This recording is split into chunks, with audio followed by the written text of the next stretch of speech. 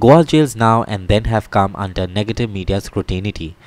Now there are reports of the being convict being supplied banned items which could be illegal drugs at the Colvale Central Jail, and the persons who organize this, the jailers themselves.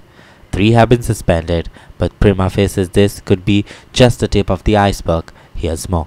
In the latest incident, three jailers Narayan Naik, Rama Korgaonkar and Prakash Gawas were caught red-handed with packets of beedies and substance suspected to be charas.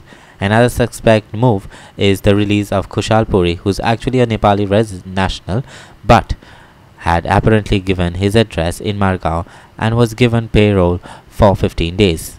And now this has been increased by another 15 days without any police clearance, giving rise to speculation that may not be above the board. Jails are meant to be correct those who have been convicted of crimes. However, incidents at various jails have shown that convicts or under trials can avail of anything in jails if they have to have money or pay for it.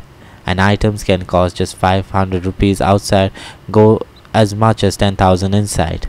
Our chief reporter Glenn Costa with reporter Sandeep Kamarkar from Panaji and Mapusa.